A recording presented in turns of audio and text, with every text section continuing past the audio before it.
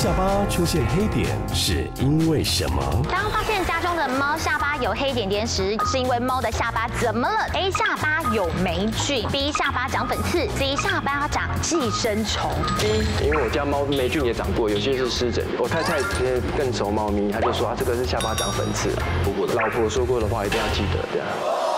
我快要想要嫁给你了。今晚九点，东森综合台《全民新攻略》。